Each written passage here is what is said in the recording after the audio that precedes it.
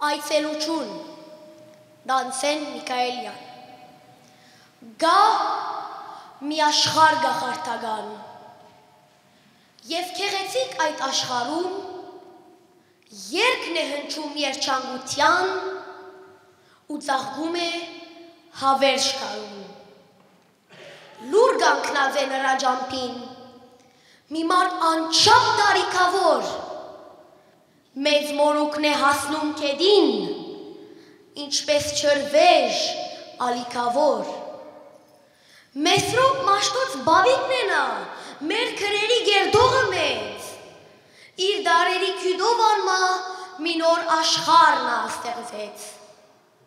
Մանուկները այցի եկան, խորհրդավոր իրենց բաբին, որ գանքնաձեր գախարտական այդ աշխարի ձաղգոտ ջամփին խոնարվեցին մեծ հարկանքով, զվարթացայն ողջույն ասին, հարցմունք արին ագնազանքով, խորհրդավոր երկրի մասին։ Նայեց նրանց մաշտոց բաբին, աչկերի մեջ լույս ու քարուն, ինչպես շաղոտ սաղիկներին, արեքագն է բայձար նայում։ Ներս համեցեք, ցայնով բարի գանչեց բաբը ջամփադալով։ Սա այփուպեն եղբայրների հայրենիքն է խորհրդավոր։ Թևավոր է երկը նրանց, ջանաբարը հարթ ու փանուկ։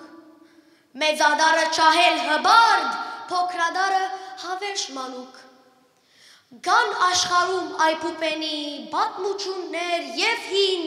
եւ նոր, հանելուկներ զարմանալի, եւ հեքիաթներ արդասովոր